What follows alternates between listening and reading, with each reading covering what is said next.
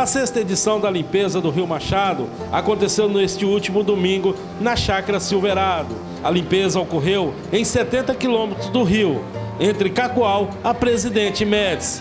Pescadores de várias cidades e região esteve presente fazendo esse trabalho. A conscientização do, do, do, do povo que não se joga lixo no rio, não se joga nas beiras das vias, é, nas BR, não se joga lixo. Quando nós tiver menos lixo, hoje a gente vai coletar mais ou menos em torno de, de, de 4 ou 5 toneladas de lixo.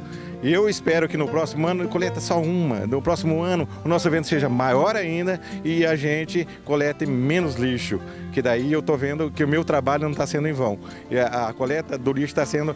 E o pessoal está conscientizando que não se deve jogar lixo nas nossas vias. É muito trabalho, é, é, nossos patrocinadores que ajudam, então envolve-se muito dinheiro também, porque todo mundo colabora.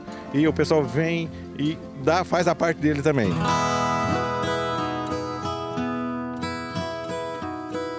Este ano teve uma novidade. Todo o lixo recolhido, a Prefeitura de Presidente Médici recolheu e destinou para reciclagem. Recolher esse material que está sendo retirado aqui do rio e fazer uma destinação correta. Como nós, o município, trabalha desde 2017 com a seletividade dos resíduos, nós estamos recolhendo esse momento.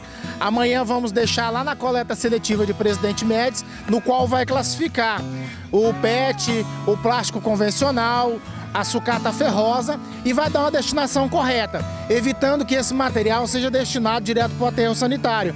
Com isso, consequentemente, ganha o meio ambiente e ganha a população que paga a taxa de lixo e a gente paga por tonelada para depositar.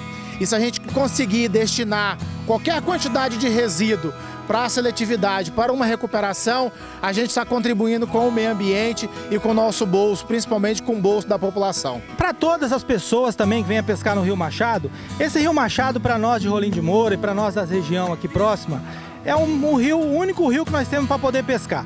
Então o que, que nós temos que falar para os nossos amigos que gostam de pescar? Venha pescar, pega seu peixe, venha brincar no rio com a sua família, mas não jogue lixo, gente, não jogue lixo. É, o ano retrasado nós tiramos aqui do Rio Machado mais de uma tonelada de lixo. Coisa absurda, fogão, geladeira velha. Gente, uma tonelada de lixo, você tirar em um único dia, é brincadeira.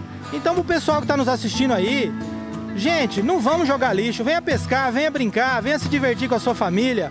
Mas não jogue lixo, gente. Esse rio é para nós, para os nossos filhos, para os nossos netos, então vamos cuidar. Diminuiu bastante, nós achou bastante lixo no Muqui, mas no Machado tá bem pouco, bem pouco mesmo. Aí no Muqui nós esteve lá umas 6 horas lá da manhã rodando lá, achamos bastante lixo no Muqui, aí recolhemos e subimos. Mas no Machado bem pouco. Vai sair mais ou vai esperar o almoço agora? Ah, agora vamos ficar por aqui agora, até mais tarde. Esperar o costelão, né? Ah, tá, na, tá no jeito, né? Beleza então, valeu, sucesso. Valeu. A Casa Esporte nesse momento aí de de um cuidado com o meio ambiente aí, né? A gente tá junto, presente aí, grudamos aí.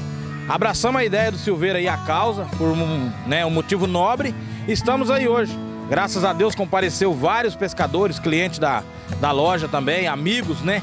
Que estão colaborando aí para que essa limpeza do rio possa ser um sucesso. Colocar isso na cabeça de, dos nossos clientes, do nosso pescador, dessas crianças que estão aí hoje participando, para que eles já possam crescer com essa mentalidade de preservar o meio ambiente, que a cada dia mais é, aquece a camada de ozônio e a gente está tirando o lixo da beira do rio, preservando, preservando as árvores, aí, a mata ciliar. Isso é muito importante. E a Casa Esporte, igual você falou, pelo nome que tem, pela quantidade de clientes que tem, de pessoas adeptas à Casa Esporte, a gente abraça a causa junto e a gente acaba trazendo mais pessoas ainda para que possa estar participando aí desse maravilhoso evento que a Chácara Silverado promove todos os anos aí.